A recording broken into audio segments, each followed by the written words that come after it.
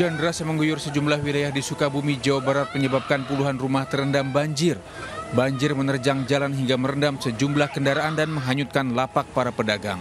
Terjangan banjir menghanyutkan lapak pedagang di Jalan Balai Desa Cikole, Kota Sukabumi. Para pedagang yang berada di lokasi panik. Banjir juga menyebabkan sejumlah jalan tergenang hingga merendam kendaraan yang sedang parkir. Hujan deras menyebabkan 34 rumah yang berada di tujuh kecamatan di kota Sukabumi terendam hingga 1 meter. Banjir disebabkan debit air yang tinggi akibat penyempitan sungai. Selain banjir, pohon tumbang dan tanah longsor juga melanda sebagian wilayah kota Sukabumi. Gugatan pra peradilan diajukan terhadap keabsahan penetapan tersangka Tom Lembong.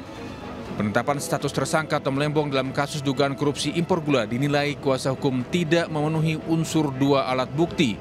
Kuasa hukum juga meminta Kejagung membebaskan Tom Lembong dari tahanan.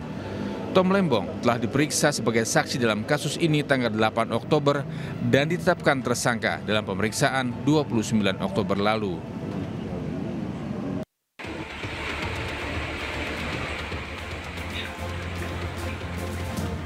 Ribuan rumah terendam banjir 2 meter akibat hujan deras yang mengguyur Kabupaten Bandung, Jawa Barat selama lebih dari 5 jam.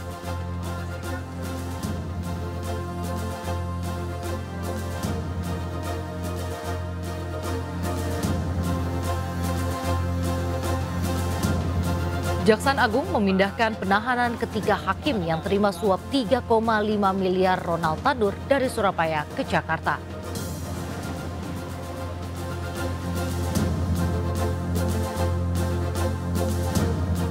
Prabowo telah teken peraturan presiden untuk membebaskan hutang UMKM nelayan petani di bank milik negara senilai total 10 triliun rupiah.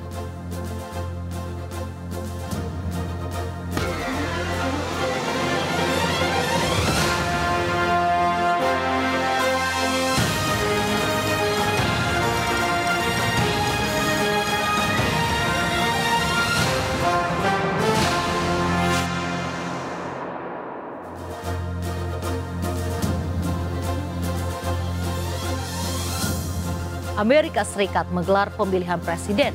Siapa yang akan keluar sebagai presiden Amerika Serikat berikutnya yang akan memastikan imigran termasuk WNI tetap aman di Amerika dan mempercepat penyelesaian konflik di Gaza. Saksikan laporan langsung kami dari Amerika Serikat.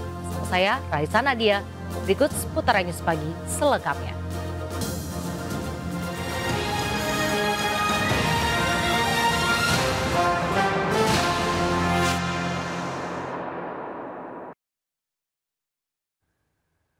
Pemirsa hujan deras yang mengguyur sejumlah wilayah di Sukabumi, Jawa Barat menyebabkan puluhan rumah terendam banjir.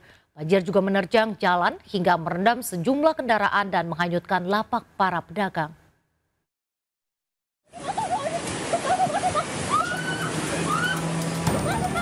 Terjangan banjir menghanyutkan lapak pedagang di Jalan Balai Desa Cikole, Kota Sukabumi, Jawa Barat. Para pedagang yang berada di lokasi kejadian panik takut terbawa arus air yang deras.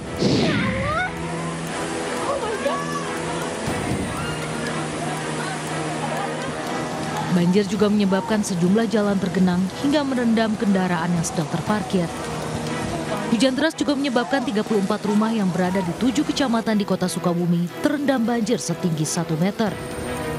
Banjir disebabkan debit air yang tinggi akibat penyempitan sungai. Selain banjir, pohon tumbang dan tanah longsor juga melanda sebagian wilayah kota Sukabumi. Yang biasa lagi kuling gitu kerja pas gitu. Teh anak datang mama katanya banjir pas dilihat nyampe di sini tuh di belakang sana. Nggak nyampe ke rumah saya teh pak.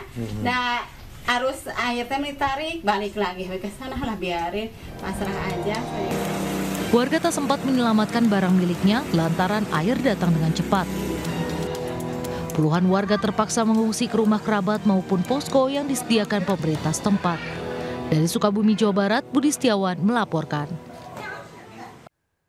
Hujan deras juga mengguyur Kabupaten Bandung, Jawa Barat selama lebih dari lima jam. Ribuan rumah terendam banjir, bahkan ketinggian air mencapai 2 meter.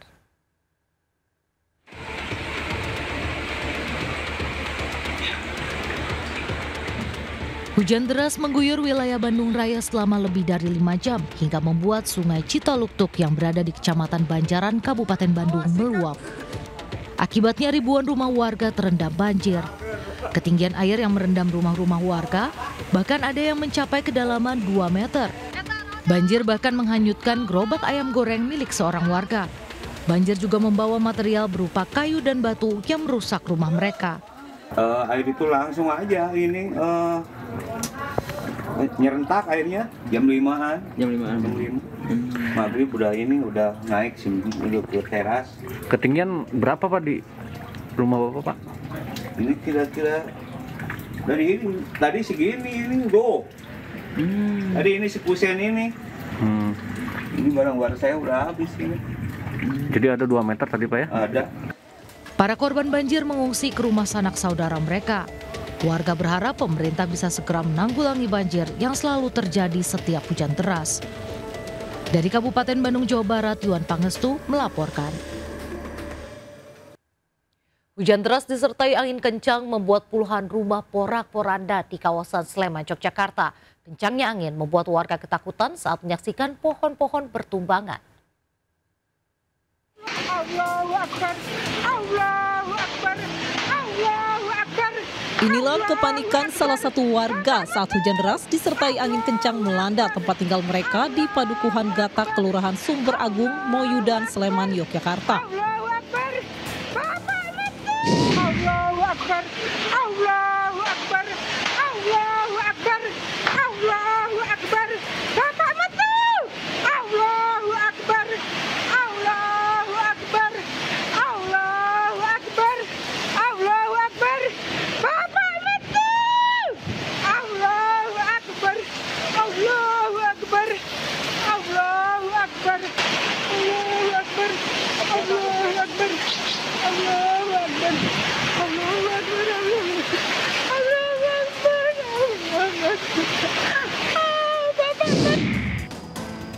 Sejumlah pohon tumbang dan menimpa beberapa rumah milik warga. Bahkan kencangnya angin membuat salah satu bangunan pendopo rumah makan rata dengan tanah. angin yang cukup kencang. Korban itu ada bangunan roboh, ada bangunan roboh juga. Kemudian banyak juga ini pohon-pohon tanaman keras. itu. Itu ada sengon laut terutama ini Petugas BPBD dibantu TNI Polri bersama relawan melakukan evakuasi serta membersihkan puing serta pohon yang menimpa rumah warga. Kalau rumah rata-rata atap, ya. atap ini yang karena kabur angin atau tertimpa pohon, itu yang paling banyak. Petugas mengimbau masyarakat agar meningkatkan kewaspadaan dan selalu berhati-hati di musim penghujan. Dari Sleman, Yogyakarta, Heru Trijoko melaporkan. Pemirsa Gunung Lewotobi laki-laki kembali erupsi. Ketinggian kolom abu mencapai 1000 meter. Sementara penerbangan dari Bandara El Tari Kupang ke tiga bandara di wilayah Flores, Nusa Tenggara Timur kembali beroperasi.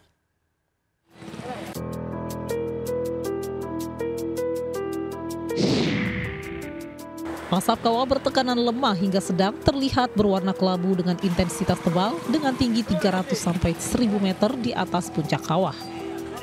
Tiga kali letusan 1000 meter dan warna asap kelabu status gunung Lewotobi laki-laki level 4 atau awas. Wisatawan diimbau tidak melakukan aktivitas di radius 7 km dari pusat erupsi gunung Lewotobi laki-laki. Pukul 24.00. Artinya semua warga eh, agar posisinya menjauh di radius 7 km. Dan juga kalau ada hujan dan itu bisa memungkinkan ada aliran lahar, agar berhati-hati karena itu menjadi eh, sumber bencana yang berikut. Aktivitas Gunung Lewotobi laki-laki saat ini terus meningkat dan erupsi beberapa kali.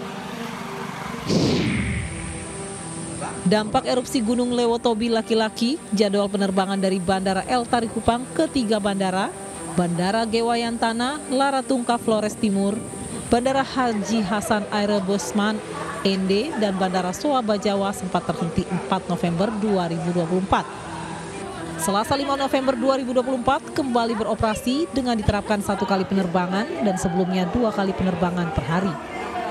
Saat ini Bandara Franseda di Kabupaten Sika ditutup sementara akibat dampak erupsi Gunung Lewotobi laki-laki. Penerbangan di wilayah Flores yang terdampak erupsi Gunung Lelowotobi laki-laki akan kembali normal setelah cuaca kembali membaik. Dari Kupang dan Maumere, Nusa Tenggara Timur, Joni Nura dan Eman Suni melaporkan.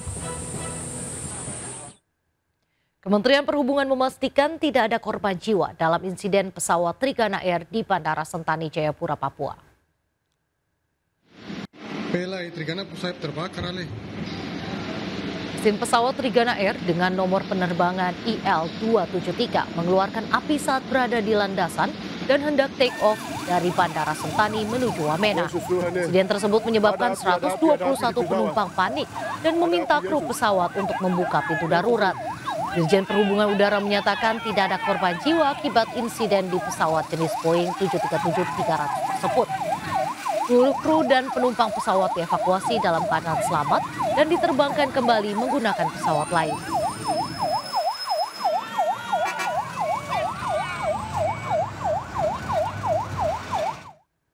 Tom Lembong melalui kuasa hukumnya resmi mengajukan gugatan pra-peradilan ke Pengadilan Negeri Jakarta Selatan. Sidang perdana akan digelar 18 November mendatang. Gugatan pra-peradilan diajukan terhadap keabsahan penetapan tersangka dan perintah penahanan yang dikeluarkan oleh Kejaksaan Agung. Penetapan status tersangka Tom Lembong dalam kasus dugaan korupsi impor gula dinilai tim kuasa hukum tidak memenuhi unsur dua alat bukti. Kuasa hukum juga meminta Kejaksaan Agung membebaskan Tom Lembong dari tahanan. Tom Lembong sudah diperiksa sebagai saksi dalam kasus ini pada 8 Oktober 2024 ditetapkan sebagai tersangka dalam pemeriksaan keempat 29 Oktober lalu. Hari ini kami sudah resmi mendaftarkan gugatan pra-peradilan terhadap kasusnya Pak Thomas Lembong. Tadi sudah didaftarkan, didaftarkan kita dapat nomor 113. 113. Ya, dan dalam proses nanti kita akan dipanggil sidang dan untuk melaksanakan persidangan.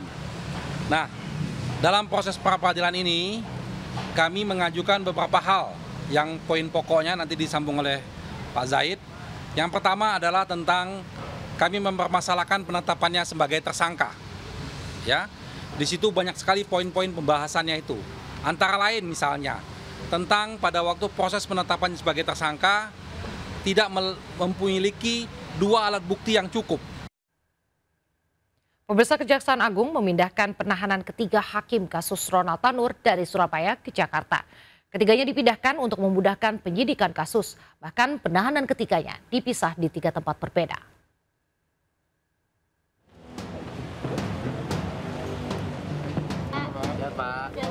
Mendadak tiga hakim kasus Ronald Tanur dibawa dari rutan kelas 1 Surabaya cabang Kejati Jatim. Ternyata satu demi satu dibawa ke Jakarta dipindahkan lokasi penahanannya.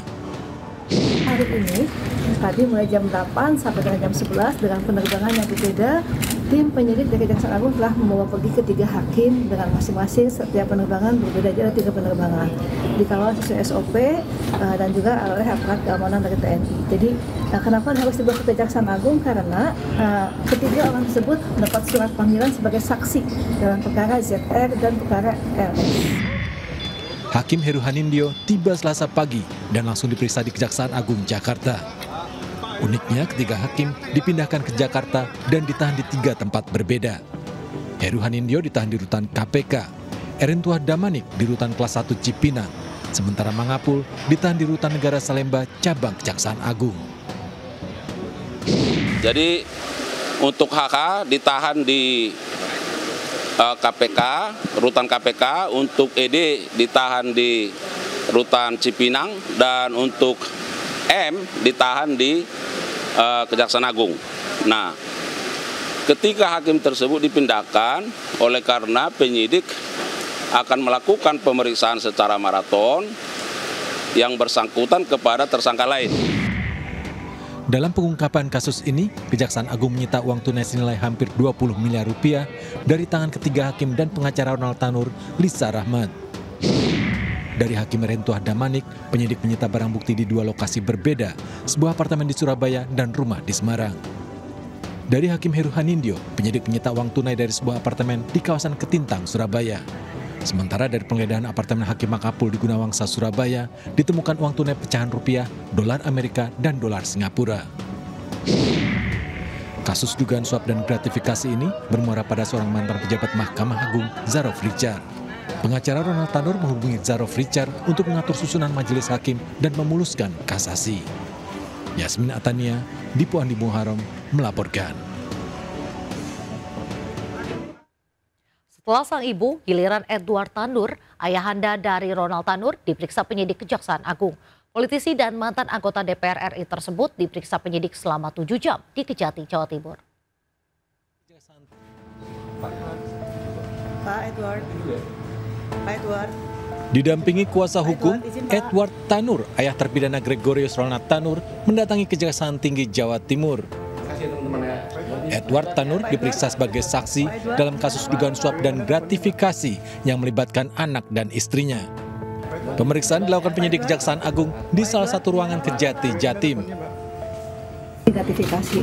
Ternyata selama ini bahwa yang aktif dalam proses tersebut adalah ada benang merah kaitannya dengan petunjuk dari RS maupun dari hasil penyidikan tadi malam hanya ibundanya. Jadi sementara bapaknya ini tidak ikut terlibat, dia menyatakan dan saya baca dalam uh, itunya dalam pemeriksaaannya uh, serahkan saja pada majelis, serahkan saja pada pengacara. Jadi dia nggak ingin terlibat, nggak karena kesibukannya atau apa, jadi tidak terlibat langsung uh, menyiapkan uang atau gimana nggak sama sekali tidak. aliran dananya itu aliran dananya dari ibunya itu, tapi kami kan bukan penyidik materi substansi itu tidak tahu yang jelas ibunya yang berperan dan berkomunikasi langsung dengan LS.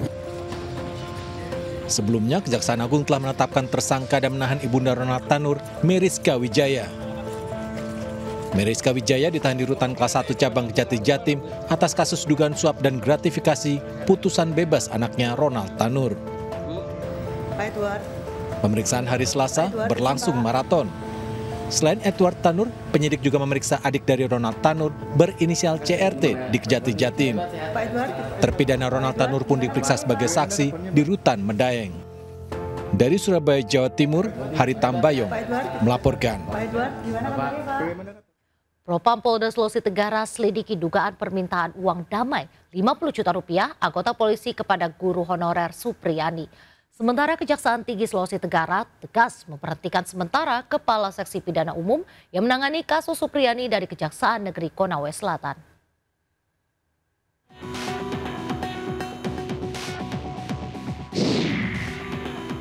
Bidang Profesi dan Pengamanan Polda Sulawesi Tenggara melakukan penyelidikan dugaan permintaan uang damai 50 juta rupiah oleh anggota Polsek Baito kepada Supriyani, guru SD Negeri 4 Baito berhonor 300 ribu rupiah yang saat ini menjadi terdakwa kasus penganiayaan murid yang juga anak anggota polisi. Uang damai 50 juta rupiah sebagai upaya penyelesaian kasus tanpa proses hukum. Kepala Desa Wonuaraya Rokiman yang diduga sebagai perantara upaya damai Supriyani dan orang tua korban dan Aibda Wibowo Hasim juga diperiksa Propam. Ya, Bapak Kapolda komitmen ya terhadap oknum-oknum yang melakukan penyimpangan dalam pelaksanaan tugas. Nanti kita lihat ya, nanti kita lihat eh, dengan pertimbangan untuk kepentingan eh, pemeriksaan, untuk mempermudah pemeriksaan. Propam Polda Sultra akan menindak tegas setiap pelanggaran kode etik oleh anggotanya. Kejaksaan Tinggi Sulawesi Tenggara memberhentikan sementara Andi Gunawan sebagai Kepala Seksi Pidana Umum Kejaksaan Negeri Konawe Selatan yang diduga karena penanganan kasus guru honorer Supriyani. Jabatan Kasipidum diserahkan kepada pelaksana harian Bustanil yang sebelumnya merupakan Kasih 3 Kejati Sultra. Kasipidum ditarik ke Kejati Sultra dalam rangka pemeriksaan termasuk tiga pegawai Kejari Konsel, lima orang saksi eksternal dan orang tua korban. Klarifikasi terhadap uh, pihak Kejari Selatan apakah penanganan perkara ini sudah sesuai dengan uh, SOP atau ketentuan. Nah ini sudah dilakukan, diklarifikasi kepada pihak-pihak yang Kajati Sultra berkomitmen untuk transparan menangani kasus guru honorer Supriyani yang melibatkan pegawai Kejaksaan Tinggi Sulawesi Tenggara. Dari Konawe Selatan dan Kendari, Sulawesi Tenggara, Febriono Tameng dan Mukhtarudin melaporkan. Pemirsa Presiden Prabowo Subianto resmi hapus utang petani, nelayan, dan pelaku UMKM. Prabowo berharap dengan penghapusan piutang macet ini, semangat mereka dalam memajukan usaha dapat meningkat.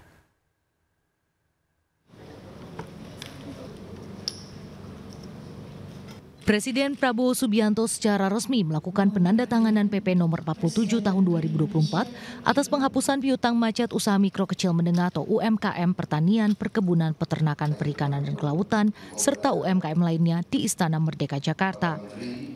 Segala kebijakan terkait pelaksanaan teknis akan diserahkan kepada kementerian atau lembaga terkait. Prabowo berharap dengan penghapusan piutang UMKM dapat membantu para petani dan nelayan dalam memajukan usahanya kembali, memberi ketenangan dan optimisme bagi mereka dalam menggairahkan perekonomian Indonesia. Pemerintah berharap dapat membantu saudara-saudara kita, para produsen yang bekerja di bidang pertanian, UMKM, dan sebagai nelayan yang merupakan produsen pangan yang sangat penting mereka dapat meneruskan usaha-usaha mereka dan mereka bisa lebih berdaya guna untuk bangsa dan negara. Menteri UMKM Maman Abdurrahman mengatakan bahwa penghapusan piutang UMKM ini hanya berlaku pada para petani ataupun nelayan yang terdampak bencana dan sudah tidak memiliki kemampuan dalam membayarkan utang dalam kurun waktu 10 tahun. Mungkin kalau dilihat ada sekitar satu jutaan ini kurang lebih nanti plus minus sekitar 10 triliunan.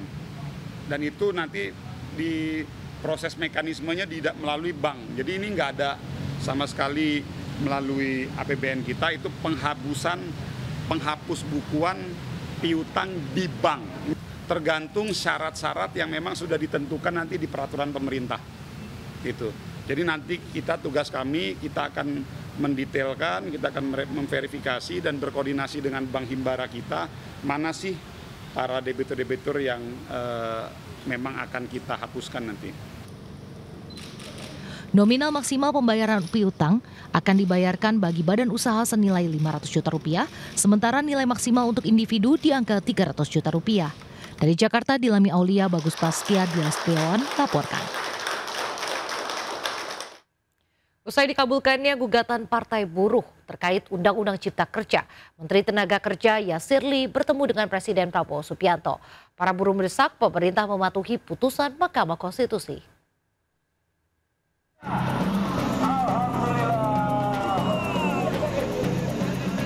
Unjuk rasa para buruh di berbagai daerah membuahkan hasil. Mahkamah Konstitusi mengabulkan 12 poin gugatan Partai Buruh terkait Undang-Undang Cipta Kerja. Usai dikabulkannya putusan MK, Menteri Tenaga Kerja Yasirli bertemu dengan Presiden Prabowo Subianto. Namun pertemuan dengan Prabowo hanya membahas upah minimum provinsi. Terkait tentang upah minimum kita ongoing. Sedang ongoing kita sekarang karena itu dulu yang short term dan long term itu nanti masih ada sekitar 20 lagi pasal atau norma ya, ya yang kemudian kami harus coba bahas satu persatu ya eh, dan kita nanti akan lihat skala prioritasnya seperti apa.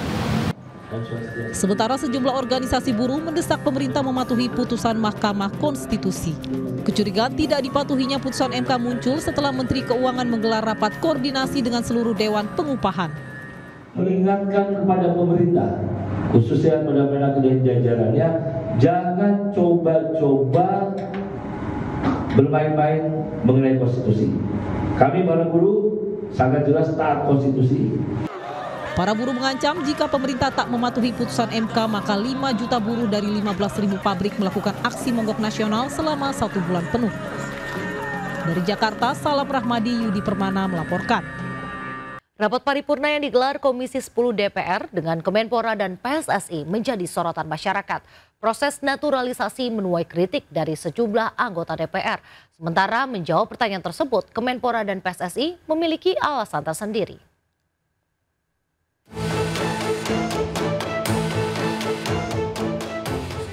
Anggota Komisi 10 DPR RI Anita Jakobaga melontarkan kritik terkait kebijakan naturalisasi pemain yang dilakukan PSSI. Dirinya mempertanyakan mengapa PSSI terus melakukan proses perpindahan warga negara demi memperkuat timnas. Menurutnya, Indonesia bukanlah negara yang kekurangan atlet berbakat. Pasti kita punya atlet banyak di Indonesia. Tetapi pertanyaan saya kenapa kita harus mengambil dari luar? Bukan sekali, ini sudah ke beberapa kali. Perlu dipertanyakan dan perlu menjadi perhatian kita semua Bapak Ibu. Komisi 10. Mau sampai kapan kita terus mengambil atlet dari luar? Padahal mereka di sana juga dilatih. Menteri Pemuda dan Olahraga Dito Aryo Tejo lantas menyatakan bahwa Indonesia khususnya cabang olahraga sepak bola masih tetap memperhatikan keberlangsungan atlet asli Indonesia. Timnas Indonesia level muda hampir seluruhnya dihuni oleh pemain lokal yang lahir di tanah air. Bisa dilihat saat ini pencapaian timnas dari U17, U20, dan U23 yang bisa dikatakan hampir 100 persennya pemain asli didikan dan binaan dari Indonesia. Walaupun di U20 ya Pak ya, 2023 ada satu naturalisasi, satu atau dua. Dan saya pun menjadi saksi bagaimana Coach Indra Safri dan Coach Nova itu melakukan scouting sampai ke daerah-daerah pelosok. PSSI menambahkan kebijakan naturalisasi diambil berdasarkan rekomendasi yang dilakukan tim pelatih Timnas Indonesia. Naturalisasi dilakukan demi mewujudkan cita-cita Timnas tembus ke level dunia. Sintayong telah memberikan uh, saran dan rekomendasi kepada PSSI bila PSSI ingin mencapai target sebagai singa Asia dan bahkan bisa lolos ke Piala Dunia, maka maaf, mohon maaf untuk para pemain-pemain yang ada di Indonesia saat ini menurut Sintayong belum mampu kita timnas untuk menuju ataupun lolos ke Piala Dunia. Sehingga Sintayong atau tim pelatih merekomendasikan kepada PSSI sebagai saran dan rekomendasinya adalah merekrut dan atau mencari mengambil bibit-bibit pemain-pemain yang ada di luar sana yang berdarah Indonesia. Inilah yang kami lakukan saat ini dalam rangka untuk juga menjawab uh, ekspektasi masyarakat yang sangat berharap bahwa timnas kita bisa berprestasi. Main di tim perwakilan. Sebelumnya Komisi 10 DPR RI menyetujui untuk merekomendasi kewarganegaraan kepada tiga calon pemain naturalisasi, Kevin Dix, Estela Lopati, dan Noah Leatomu. Persetujuan ini diambil dalam raker bersama Kemenpora dan PSSI di Kompleks Parlemen Senayan, Jakarta, Senin lalu. Kompol Muhammad Bambang Surya Wiharga akhirnya dicopot dari jabatan Kasubdit Gakum di Telantas Polda Maluku untuk pemukulan terhadap sopir taksi online. Lengkapnya sesaat lagi, tetaplah bersama kami.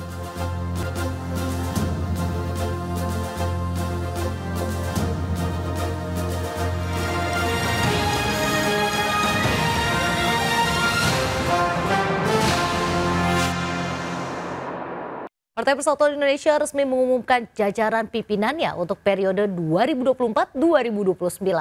Penetapan tersebut menjadi bentuk transformasi Partai Perindo di bawah kepemimpinan baru Angela Tado Sudibyo.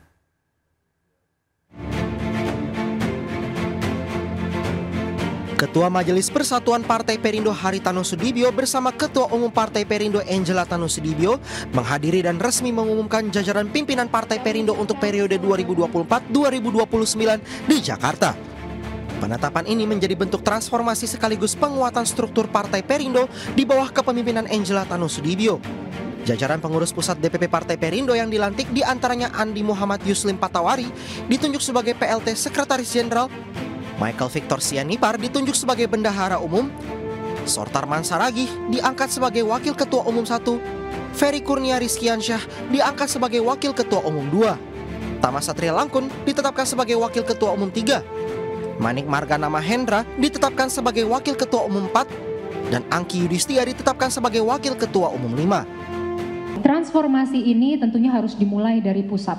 Dan komitmen kami adalah ini akan kita teruskan sampai ke daerah-daerah. Seperti arahan Ketua MPP Bapak Haritanu Sudibyo bahwa organisasi itu harus kuat dan mengakar. Target kami sampai Desember akhir tahun, tugas pertama dari para pimpinan yang ada di sini adalah melengkapi, melengkapi ketua-ketua bidang yang ada di bawahnya dan juga unit-unit kerja yang ada di bawahnya. Dan kita harus ingat sekali lagi bahwa SDM jangan cuma diperkuat di pusat, bahwa kekuatan suara itu ada di bawah. Ya kita harus betul-betul membangun kepengurusan yang kuat di provinsi, kita harus betul-betul membangun kepengurusan yang kuat di kabupaten kota.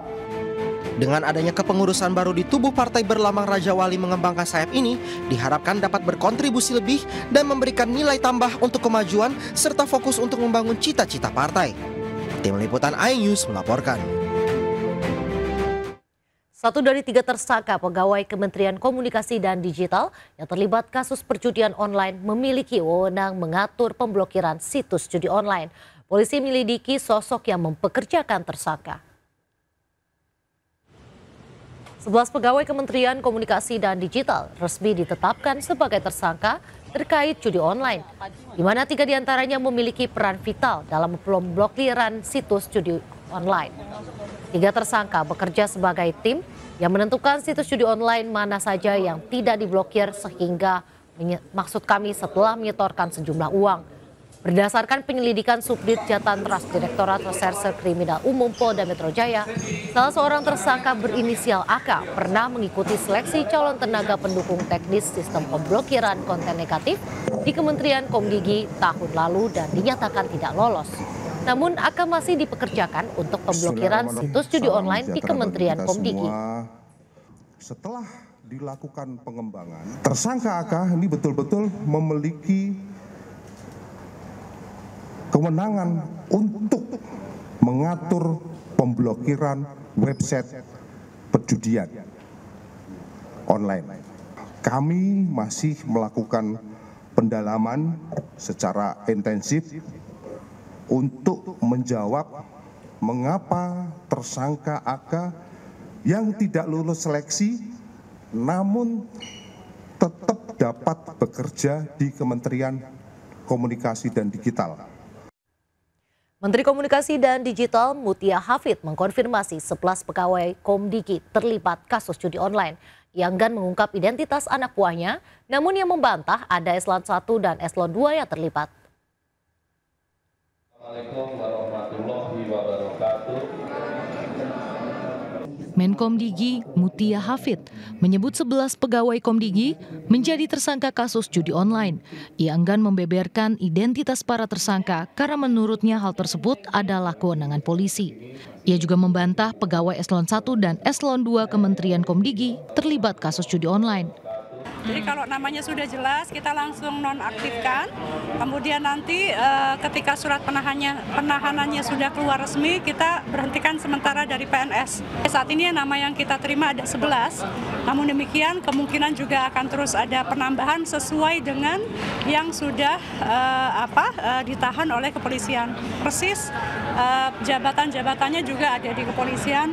Namun setahu saya tidak ada eselon 1, eselon 2. Berarti dia 11 pegawai yang ditetapkan sebagai tersangka memiliki fasilitas kantor satelit di Bekasi yang telah digeledah polisi. Mereka membiarkan beberapa situs bermuatan judi online tetap beroperasi, padahal seharusnya diblokir. Dari Jakarta, Ismalia Dimas Winardi, Jemi Jasin melaporkan. Hujan deras mengguyur Kabupaten Bandung, Jawa Barat selama lebih dari lima jam. Ribuan rumah terendam banjir, bahkan ketinggian air mencapai 2 meter.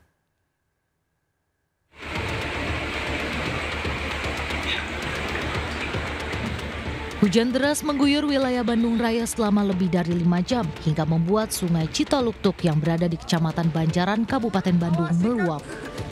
Akibatnya ribuan rumah warga terendam banjir. Ketinggian air yang merendam rumah-rumah warga bahkan ada yang mencapai kedalaman 2 meter. Banjir bahkan menghanyutkan gerobak ayam goreng milik seorang warga. Banjir juga membawa material berupa kayu dan batu yang merusak rumah mereka. Uh, air itu langsung aja ini uh, nyerentak airnya jam limaan. Jam limaan. Jam lima. Maghrib udah ini udah naik menuju ke teras. Ketinggian berapa pak di rumah bapak pak? Ini kira-kira dari ini tadi segini ini do hmm. tadi ini sekusen ini. Hmm. ini barang-barang saya udah habis ini. Jadi ada dua meter tadi pak ya? Ada Para korban banjir mengungsi ke rumah sanak saudara mereka. Warga berharap pemerintah bisa segera menanggulangi banjir yang selalu terjadi setiap hujan deras. Dari Kabupaten Bandung, Jawa Barat, Yuan Pangestu melaporkan.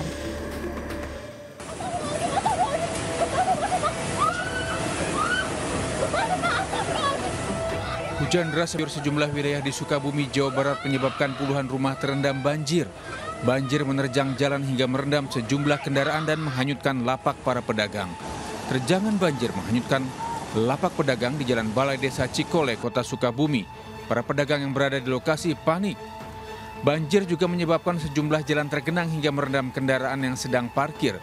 Hujan deras menyebabkan 34 rumah yang berada di tujuh kecamatan di kota Sukabumi terendam hingga 1 meter.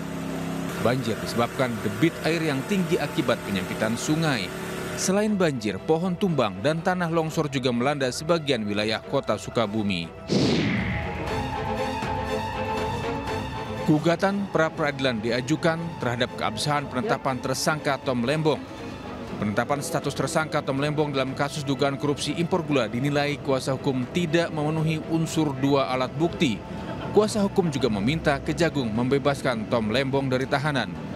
Tom Lembong telah diperiksa sebagai saksi dalam kasus ini tanggal 8 Oktober dan ditetapkan tersangka dalam pemeriksaan 29 Oktober lalu.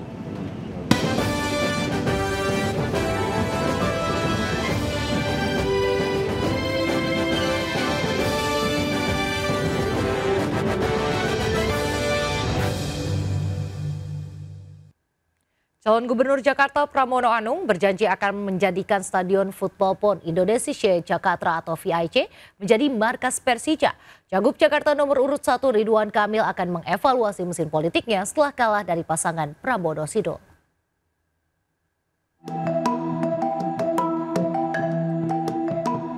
Pramono Anung memanfaatkan sisa waktu kampanyenya dengan mendatangi Stadion Football Bond Indonesia Jakarta atau VIG Jakarta Pusat. Usai meninjau salah satu stadion tertua di Jakarta, calon gubernur Pramono Anung mengungkapkan rasa keprihatinannya. Pramono pun berjanji jika terpilih akan renovasi stadion dan menjadikan home base-nya Persija. Sama latihan Persija itu? Iya, salah satunya jadi base camp. Persija kan klub yang besar. Tentunya tempat latihannya juga. Kalau memang ini ininya udah bagus ya nggak apa-apa. Kalau belum ya jangan kan gitu. Cagup Jakarta nomor urut 1 Ridwan Kamil akan mengevaluasi terkait hasil sebuah lembaga survei yang memenangkan pasangan nomor urut 3 Pramono Sidul.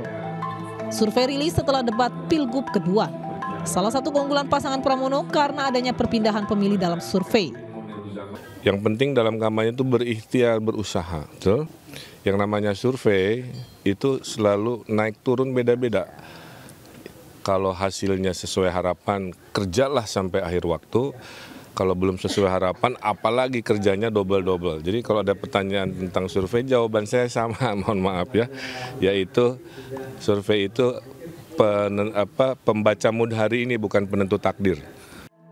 Berdasarkan elektabilitas Litbang Kompas, popularitas pasangan Pramono Rano mencapai 38,3 persen. Sementara pasangan RK Suswono 34,6 persen. Tim Liputan melaporkan. Empat pasangan bakal calon gubernur Jawa Barat memanfaatkan sisa waktu kampanye dengan berdialog hingga bertemu warga secara langsung. Janji-janji politik kembali dilontarkan para calon kepala daerah untuk merebut suara terbanyak pada Pilkada 27 November mendatang.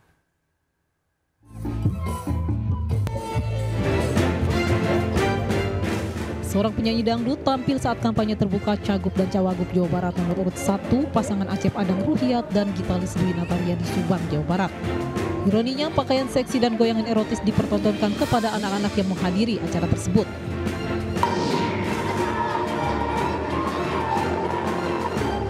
Diiringi tarian tortor, calon wakil gubernur Jawa Barat nomor urut 2 yang diusung PDIP Ronald Surapraja dan calon wali kota dan wakil wali kota Bekasi yang juga diusung Partai Perindo, Tri Adianto Cahyono dan Haris Bobihu disambut meriah generasi Z.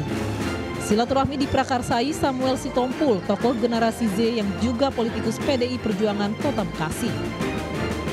Bawa semangat harapan supaya toleransi tumbuh subur di Kota Bekasi melalui perjuangan Bapak Triadianto dan uh, Kang JJ Ronald untuk Gubernur Jawa Barat.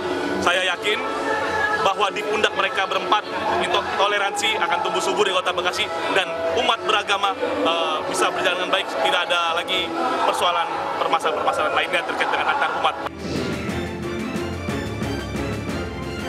Calon Wakil Gubernur Jawa Barat nomor urut 3 Ilham Habibi bertemu dengan ratusan guru dan dosen di Paguyuban Pasundan Bandung. Anak dari mantan Presiden ketiga Indonesia ini berjanji akan memperhatikan guru honorer di Jawa Barat.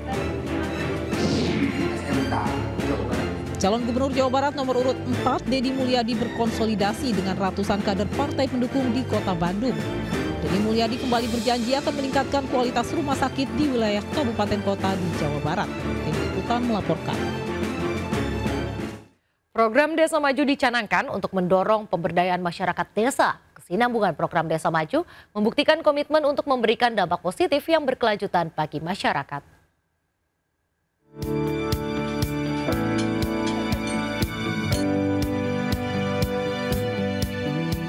PT Prudensial melanjutkan program Desa Maju Prudensial tahap 3 di Desa Gunung Putri, Kabupaten Bogor, Jawa Barat. Program tersebut sejalan dengan komitmen Prudensial untuk memberikan dampak positif yang berkelanjutan bagi masyarakat. Peresmian juga bertepatan dengan hari ulang tahun ke-29 Prudensial Indonesia. Kegiatan sosial tersebut menarik antusiasme para Pru Volunteers yang terdiri atas ratusan karyawan Prudensial Indonesia dan Prudensial Syariah. Program ini bertujuan untuk terus memberikan hunian yang layak bagi masyarakat di Bogor ini. Yang pertama dengan membangun rumah yang layak. Yang kedua kami juga mengekspansi program ini dengan program lingkungan hidup di mana kami akan membantu pembangunan yaitu biopori uh, sebesar 200 lubang biopori untuk juga membantu warga mengatasi uh, yaitu waste management atau untuk membantu juga mengurangi sampah organik. Selain itu kami juga mendukung pelatihan-pelatihan UMKM dari para warga. Program Desa Maju Prudensial yang sudah dijalankan sejak tahun 2020 merupakan salah satu wujud komitmen perusahaan dalam mendukung Sustainable Development Goals tentang kota dan komunitas yang berkelanjutan, termasuk melalui permukiman inklusif, aman, dan tangguh, serta berkelanjutan. Dari Kabupaten Bogor, Jawa Barat, Wildan Hidayat melaporkan. Kami kini jumpa kita pagi ini. Pemirsa, berita-berita yang kami sampaikan di program seputar Ayus pagi hari ini juga dapat dilihat di okenzone.com. Silahkan men-scan barcode yang tertera. Saya Raisa Nadia, selamat beraktivitas, tetap semangat, dan sampai jumpa.